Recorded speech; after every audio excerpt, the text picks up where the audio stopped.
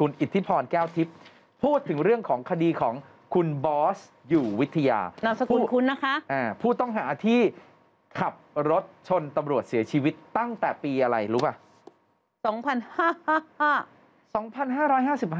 อืม 2555 ปีนี้ 2000 โอ้โอ้โห หกคือห้าแล้วอะ มันสิบ10ปีอะ ปีแล้วอะจะชนมา10ปีแล้วอะซึ่งทางอายการเนี่ยสั่งฟ้องนายวรยุทธ์ไว้สองข้อหานะ คุณผู้ชมข้อหาแรกคือ ข้อหา ขับรถชนเป็นเหตุให้ผู้อื่นถึงแก่ความตาย จะหมดอายุความในปี 70อืมและข้อหาเสพโคเคน ซึ่งจะหมดอายุความใน 3 กันยายน 65 ปีนี้ครับนะคะอ่าแต่ขณะเนี้ยพนักงานสอบสวนยังไม่สามารถนำตัวในคุณบอสเนี่ยมาผู้ต้องหามาดำเนินคดีได้ ทราบว่าตัวผู้ต้องหายังอยู่ที่ต่างประเทศ ซึ่งทางท่านนายเอ่อทางท่านจุมพลอธิบดีอายการสำนักงานต่างประเทศก็กล่าวไว้เมื่อปีที่แล้วนะคุณผู้ชมว่า กรรมาธิการของรัฐสภาได้เรียกชี้แจงเนี่ยเรียกไปแล้วนะคะชี้แจงคดีนายในบอสเนี่ยนะคะนายวรยุทธ์เนี่ยแล้วตรวจสอบว่ายังไม่มีการส่งเรื่องนี้เลย ยังไม่มีโหเป็นใช้เวลาทำดำเนิน10ปีการแต่นานมากไม่อะว่างมั้งสงสัยไม่ว่าง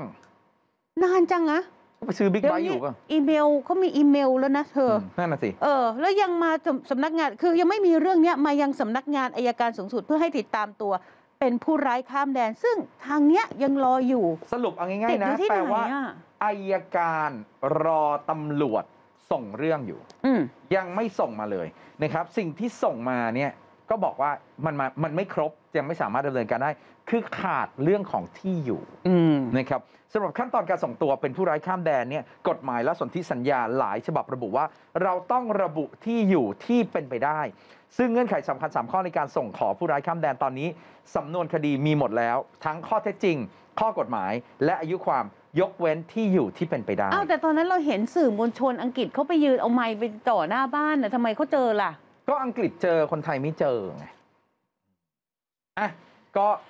ก็ก็แค่บอกเฉยๆนะว่าเดี๋ยวก็รอดูกันแต่จริงๆเรื่องนี้ก็รอดูกันทั้งประเทศนะเขาก็ดูไม่ได้สนใจอะไรอะรอดูกันจน 3 กันยานี้จะหมดอายุอืมความแต่หมดอายุความเฉพาะเรื่องนี้นะ แต่มันไม่ควรต้องเป็นแบบนี้ไงอืมอืมอะพูดตรงๆนะ ถ้าตั้งใจจะหาจริงๆหาเจออยู่แล้ว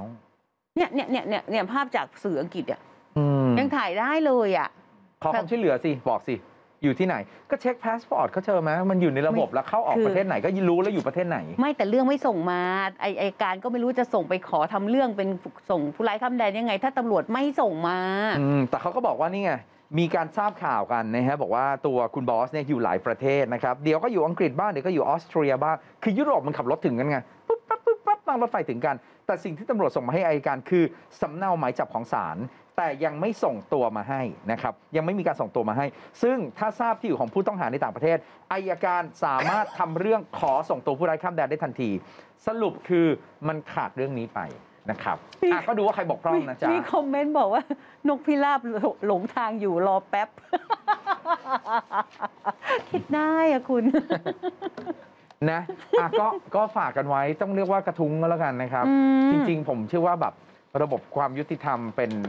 เป็นสิ่งที่จะพดุงสังคมให้เดินหน้าต่อไปได้นะ ค่ะ แล้วมันต้องระบบยุติธรรมต้องทำงาน นอกจากจะยุติธรรมแล้วต้องเร็วด้วยนะ โอ้คือไม่ได้บอกว่าวันนี้พรุ่งนี้จบนะ แต่ไม่ใช่ 10 ปี 20 ปีเนี่ยเนี่ยรอคดีอย่างคดีบางบางบางคดีอะคดีดัง ๆอะต้องรอให้ดังอะบางทีถึงจะมีการจับตัวกันเร็วๆนะ คือถ้าถ้าไม่มีกินเนี่ยแล้วถูกโกงอะเออ ตายแล้วอะใช่ ตายแล้วยังพิจารณาไม่จบเลย คือมันช้าเกินไป เกินไป